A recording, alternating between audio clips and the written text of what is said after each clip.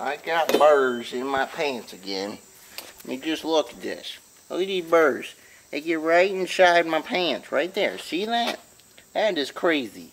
And then they scratch scratch my skin and irritate it. That just sucks. So, um, subscribe and like about my burrs.